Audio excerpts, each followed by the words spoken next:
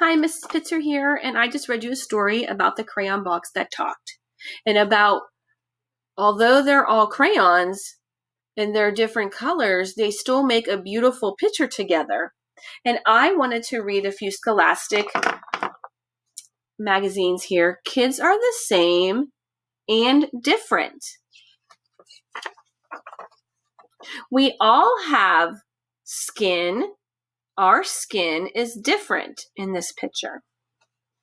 We all have eyes, and our eyes are different.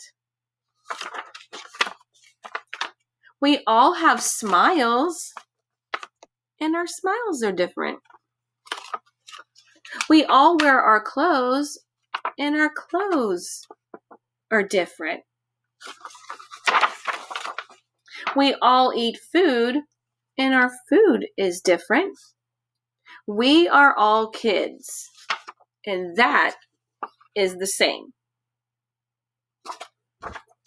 So, the reason we had yesterday off is that we celebrate um, Dr. Martin Luther King Jr.'s birthday.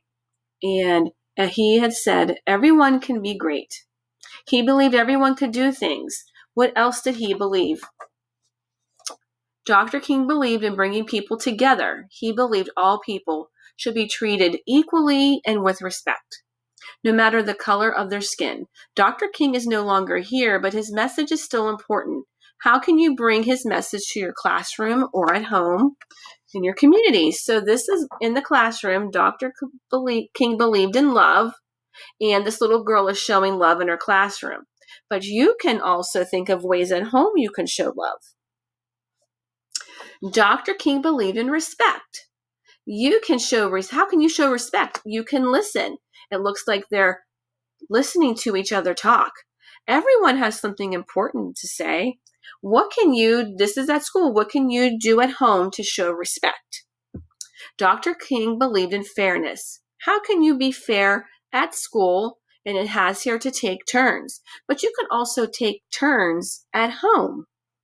And Dr. King believed in togetherness, and you can bring people together, which means you can include everyone when you're playing. How can you bring people together at home?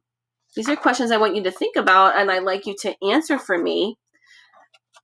In your portfolio, in your portfolio, I want you to draw me a picture of you and we're going to take these pictures and I'm going to put them in a collage and I want to see that although we're kids and we're the same in our class, but everybody, because we're a kid, but everyone looks different and maybe sounds different, you know, than how you are. Bye. Talk to you soon.